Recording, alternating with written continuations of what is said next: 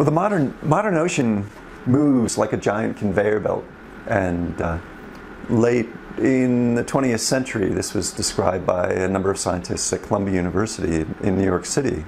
What we found was that ocean water ages as it goes down from the North Atlantic into the South Atlantic, into the Indian Ocean, and then into the Pacific.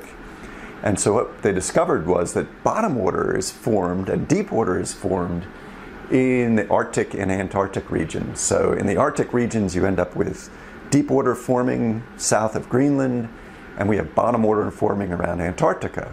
So the big conveyor belt that the scientists were describing were, had their origins in those regions. If we take it from what the deep water is doing, it starts in the North Atlantic, ends up dropping from the surface down deep. So why does that happen?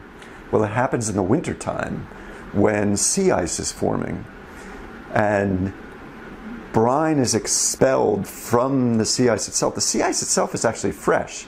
So how do you get fresh water out of salt water? Well, it has to get really cold for one thing. But as it's forming, the salt from from the actual seawater in that sort of mushy uh, sea ice is actually being extruded out the bottom. So you end up with this cold, which is dense, very saline water, basically raining down. So that's the origin of this deep water in the North Atlantic.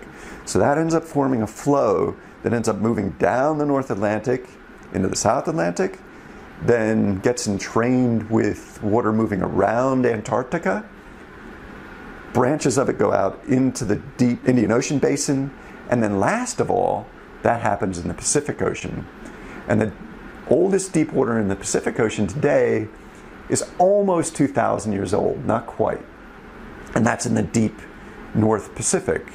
Then it sort of very, very sort of gradually upwells all around the North Pacific and then moves back. So this is the surface flow now. So it moves back from the Pacific through the Indonesian archipelago, across the Indian Ocean, around South Africa, and then up into the North Atlantic again.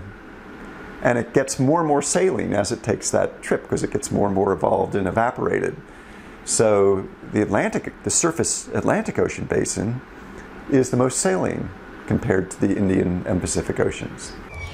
So when you consider the very high heat capacity of water, what this immense volume means is that by changing the temperature of these deep and bottom waters by only a tiny amount, by like a hundredth of a degree, you you provide the climate with a mechanism to store vast amounts of excess heat and lock it away from the atmosphere, which is where we live and where we experience excess heat in extreme weather.